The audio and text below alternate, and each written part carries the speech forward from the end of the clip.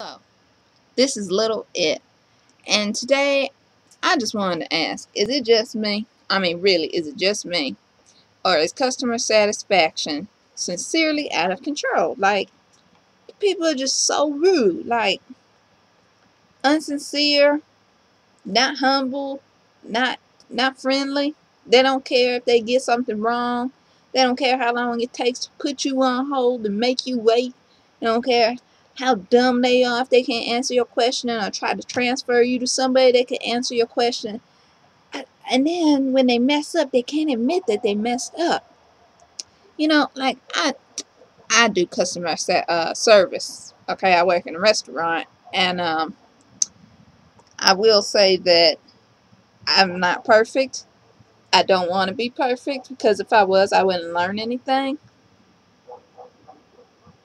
Um, well, that dog sounds really close. It's barking, and uh, I know it's not my dog. That's very bizarre. I hope it's not coming up my driveway.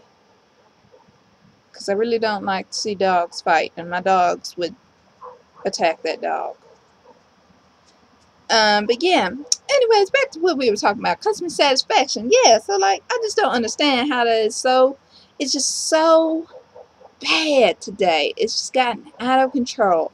I was just wondering if it's really just me. But like I said, I don't want to be perfect because then I wouldn't learn anything.